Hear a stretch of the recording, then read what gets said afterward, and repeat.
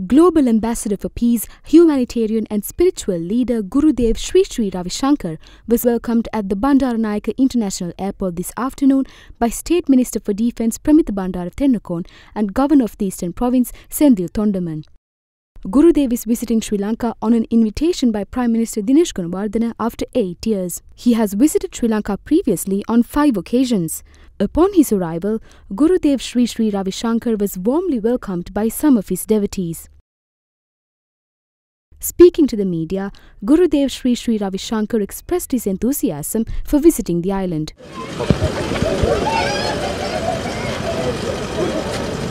Guruji, Guruji.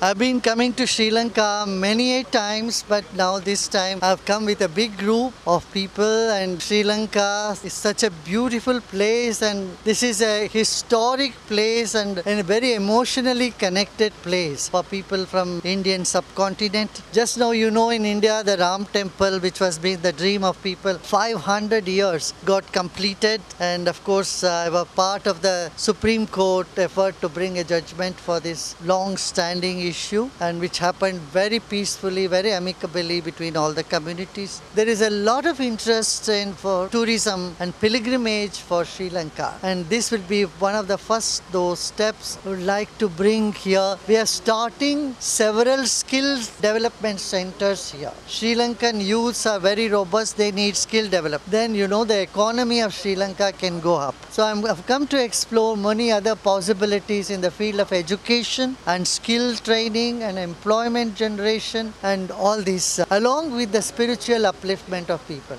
Upon his arrival, Gurudev called on Prime Minister Dinesh Gunawardena at the temple trees, where they engaged in discussions covering a broad spectrum of topics.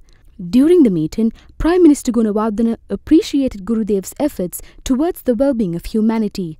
During his visit, Gurudev is expected to address a public meeting titled Ekamutuva and also inaugurate 12 skill development centers of the Art of Living Foundation in Sri Lanka. Gurudev Sri Sri Ravi Shankar will also grace the Kumbhabhishekam event in Sita Amman Temple in Nuwara and bless the community and in Trincomalee, he will attend community programs organized in his honor.